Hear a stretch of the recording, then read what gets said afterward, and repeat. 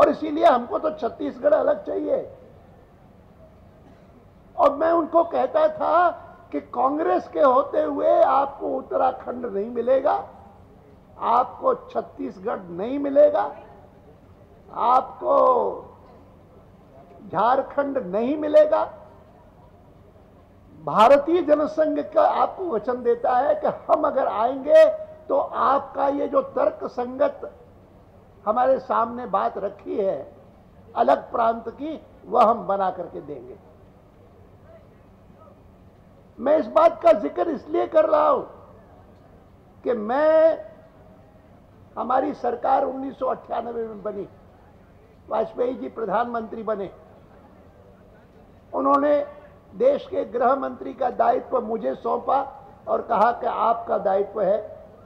मुझे हमेशा याद आता था कि भाई मैंने वचन दिया था झारखंड के लोगों को। मैंने वचन दिया था उत्तराखंड के लोगों को।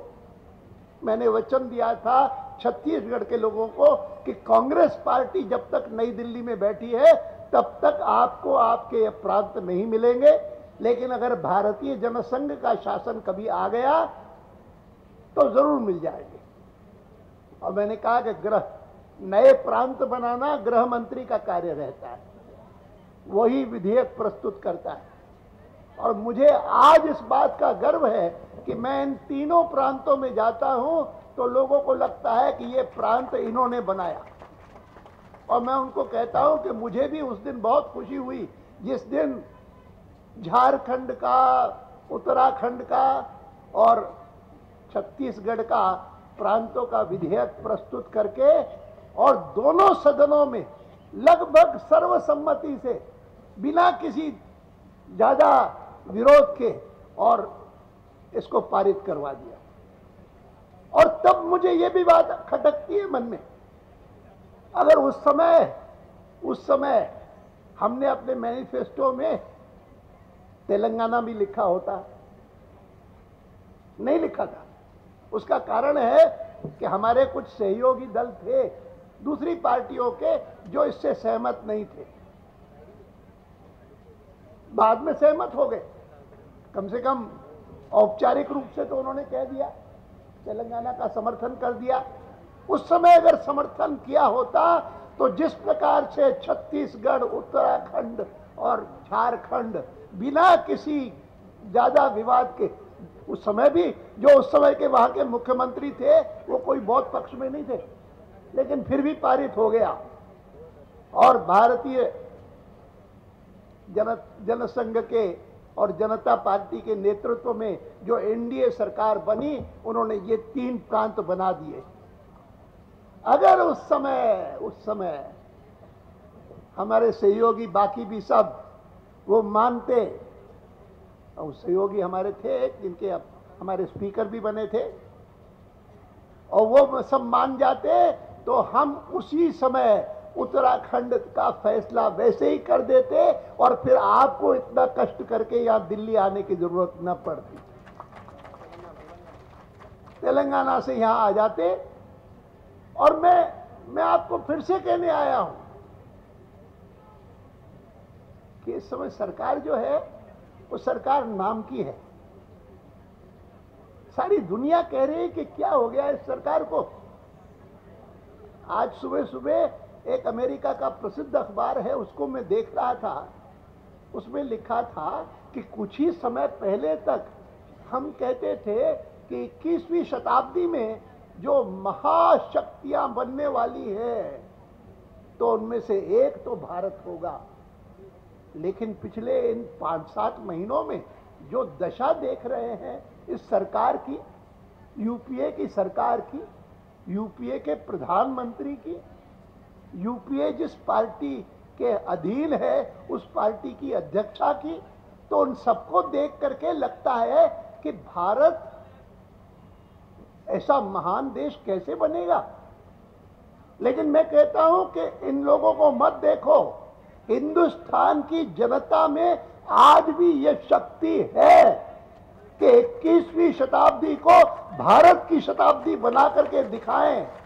और भारत इसी इसी शताब्दी में, शताब्दी के अर्ध शताब्दी पूरी होने से भी पहले, पहली पंक्ति में खड़ा होगा दुनिया के देशों की। और तेलंगाना की मांग को कोई रोक नहीं सकता। मुझे इस बात की विशेष खुशी है कि मैंने अपनी अंतिम यात्रा में, जब मैं महँगाई के खिलाफ, भ्रष्टाचार के खिलाफ और काला धन जो विदेशों में रखा है, भारतीयों का, उसको वापस लाने के लिए, मांग करने के लिए निकला था तो सारे हिंदुस्तान में बहुत ज़बरदस्त जन समर्थन उसको मिला। लेकिन जैसा जन समर्थन मैंने तेलंगाना के क्षेत्र में देखा, और मैं मानता हूँ कि वह जो जन समर्थन था, वह केवल इन तीन मांगों के कारण नहीं था वह इस कारण भी था कि वहाँ की जनता इस बात से बहुत दुखी है कि वर्तमान सरकार ने, कांग्रेस ने वचन देकर के भी, संसद में वचन देकर के 2009 में उस समय के गृह मंत्री ने संसद में वचन दिया कि हमारी सरकार मंत्रिमंडल में साथ रहे। और ये तो उनमें से है कि जब हिंदुस्तान सारे में दो ही सीटें मिली थी भारतीय जनता पार्टी को। केवल दो। तब भी एक थे।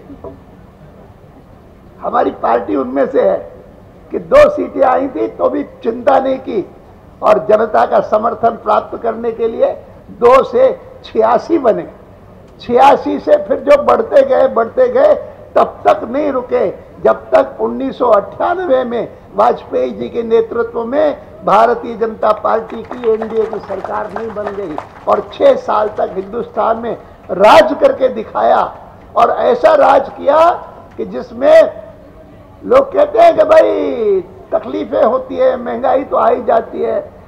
बड़ा बड़ा इकोनॉमिस्ट आज बैठे हुए हैं, प्रधानमंत्री बनकर के, कैसी महँगाई लाई है? आम आदमी की कितनी परेशानी है? गरीब की खास करके, इतने दुखी हैं लोग। इतने दुखी हैं।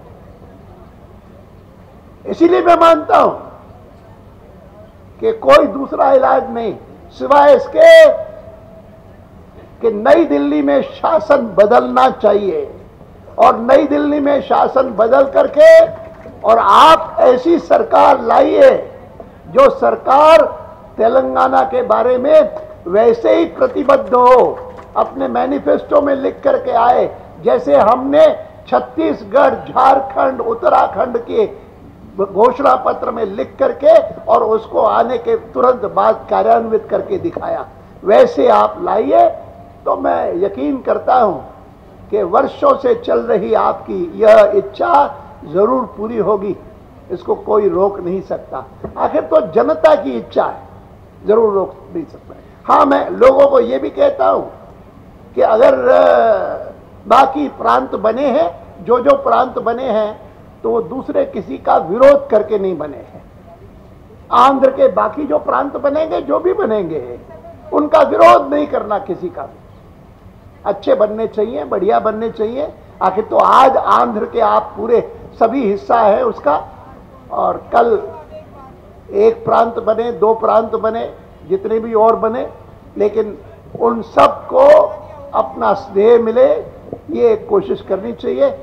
मैं एक बार पुनः अपने सभी भारतीय जनता पार्टी के कार्यकर्ताओं का, जो इस क्षेत्र का काम करते हैं, इस क्षेत्र का नेतृत्व करते हैं, उन सबको बधाई देता हूँ, आप सभी को बधाई देता हूँ, विशेषकर अपनी बहनों को बधाई देता हूँ, जो अपने घरों से चल करके और इतनी बड़ी संख्या में यहाँ पर आए हैं। बहुत बहुत धन्यवाद। कहिए जय तेलंगाना। जय जय तेलंगाना। भारत माता की भारत माता की। बहुत धन्यवाद।